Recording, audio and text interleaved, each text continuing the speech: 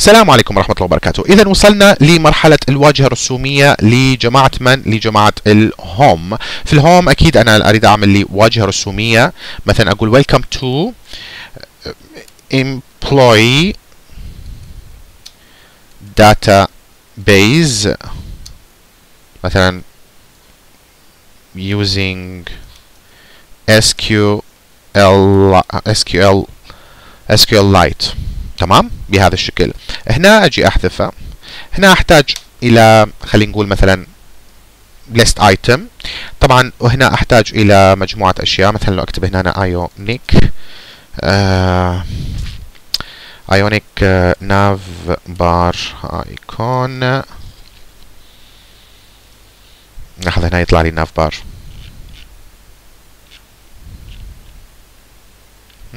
هذا.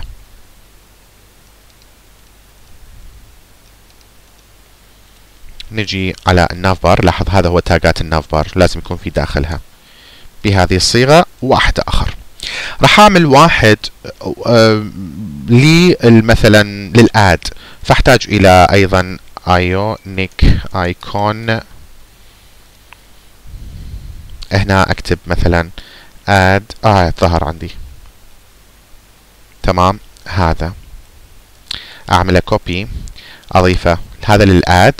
واحتاج واحد آخر refresh مثلا.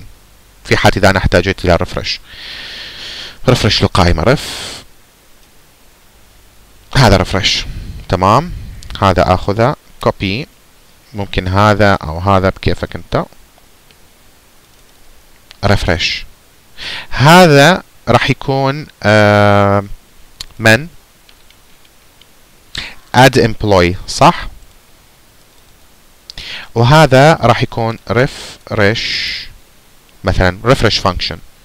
تمام؟ اللي uh, refresh function لاحظ تقدر تاخذ هذا copy save. وظيفته إنه لما تيجي تعمل edit تحتاج تعمل refresh هل, هل هو فعلا عمل edit ولا لا؟ لأن الاديت تكون في صفحة أخرى. تستطيع إنه إنها تعمل لك refresh function. بسيط جدا فكرة refresh function. هو نفس الفكرة get data okay؟ نفس هذا الفكرة. إنه لما نضغط على هذا ال button يحصلنا على المعلومات. بس. هذا هو ال... أو ممكن هذا تضعها. ال get data ممكن تضعها في داخله عادي جدا. براحتك. حسب تريد يعني ممكن تضع function في داخل function أو مثلا هو ال function نفسه تناديه مرة أخرى هنا. أنا لا حاجة لاعمل function آخر. بالطريقة اللي يعجبك. طيب هذول الاثنين أنا أحتاج إنه أعملهم. بعدين أجي إنه أحتاج إلى مثلا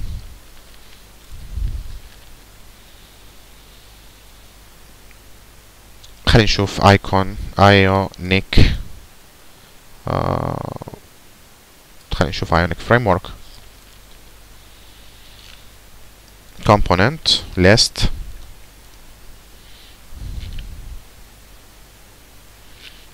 هذا هو list I think okay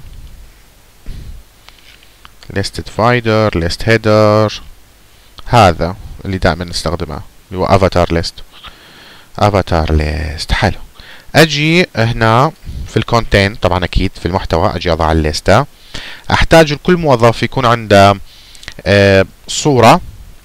آه وهذه الصورة راح أعمل مبدئيا صورة اعتيادية أخذها مثلا person icon png. person icon png image. خلينا نشوف. مثلا كيفك؟ مثلا ممكن نختار هذا.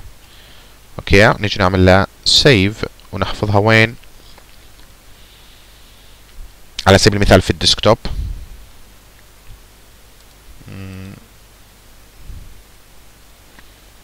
هذا desk desktop.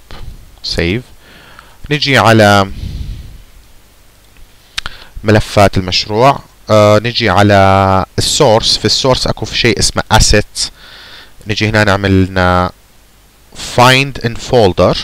Oops لا. Assets. نعمل لنا folder هذا ال folder اسمه مثلا img ك image مثلا.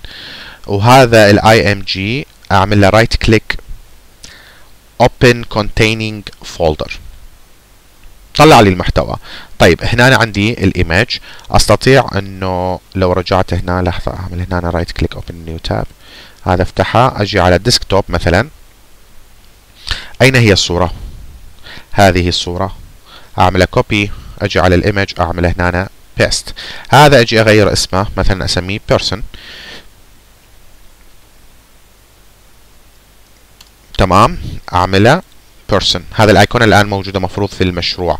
لو جيت على close. close. لو جيت على المشروع لاحظ الصورة تم إضافتها للمشروع. هنا أنا أحتاج أنه أجي أعمل وينه؟ right click copy path واجي على ال source واعمله paste أحتاج فقط أذكر assets هذا كله لا يحتاج. تمام؟ هو اوتوماتيكيا بس مجرد تكتب هنا assets. اوتوماتيكيا راح يبحث عن ال assets في داخل ال project ويعمل image و person وإلى آخره من الأمور. هنا أنا أحتاج مجموعة أشياء اضيفها طبعا في البداية هنا أنا slide آه إحنا ليش آه لو كنا مختارين ال slide يكون أفضل. هذا هذا هذا هذا هو ال list اللي نبحث عنه. ليش؟ لأن حتى نضع فيها ال button مثلا ال edit وال delete آه جنب بعض. خلينا نشوف هنا آه هذا هو ال image. نعمله cut نضيفه هنا تمام؟ والباقي لا حاجة له. تمام؟ هذا هنا نجي نعمل ngFor بس خلينا نشوف ال time. آه ngFor مثلا ngFor let person of data. من هو ال data؟ لا تنسى. هذا هو ال data. اللي راح يدخل في ال database وراح يبدي يضع هذه القيم في داخله.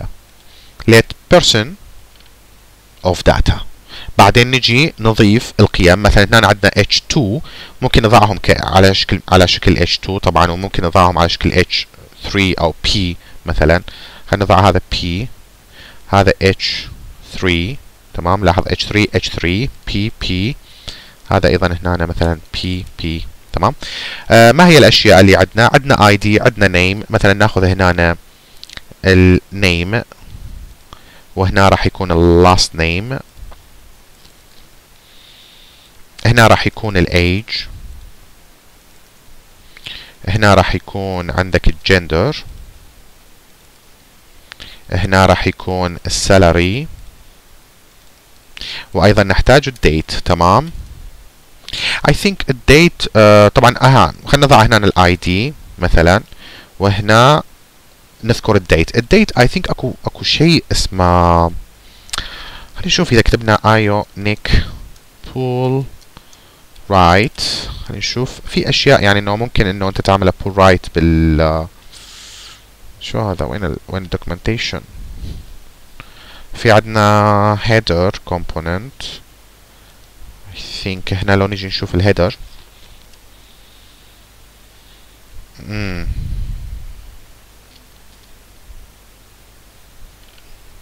آه صحيح. هنا طبعا ممكن إنه أنت تبي تلون ال bars أوكي؟ ممكن تغير من لون البار. بس هذا لازم نكتب هنا Ionic 2 أو Ionic 3 على سبيل المثال. إحنا اللي نستخدم Ionic 3 header bar pulling some button to right. هذا موجود يمكن هنا. pull right. غريبة. I think uh, خلينا نشوف هنا. nav bar color أتصور يمكن تكتب color يساوي red مثلا هالشكل. لا ليست هذه. طيب خلينا نرجع للدوكيومنتيشن يكون أفضل. لو نجي على ال button هذا button لو نجي على الاسفل لاحظ. ال color light ال color danger خلينا نستخدم هذا ال color danger لمن؟ ل ال header بهذا الشكل okay؟ نجي على مثلا آه هنا في ال header إحنا وضعنا ال color. آه لو إجينا هنا نشوف مثلا عندنا ال let uh, person of data. طبعا هذا راح يكون data dot name data dot lname data dot age data dot gender data dot salary data dot. تمام؟ في عندنا في الكارت أصلا إنه note يمكن أتصور اسمه note ion note.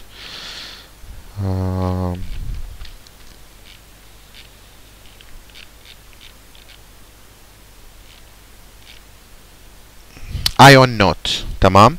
ممكن هذا نضع فيها التاريخ ion note. اللي هو راح يكون data dot date تمام؟ بهذا الشكل.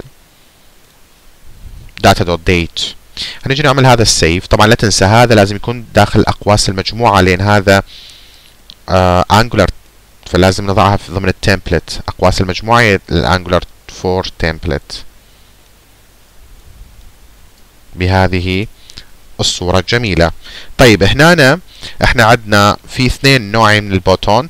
في عندنا button بال left ال side هو ال left وفي عندنا ال right. تمام؟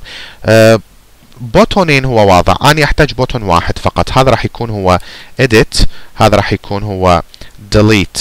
تمام؟ نعمل هنا save ونشوف ال time خلونا نوقف نكمل الدرس القادم.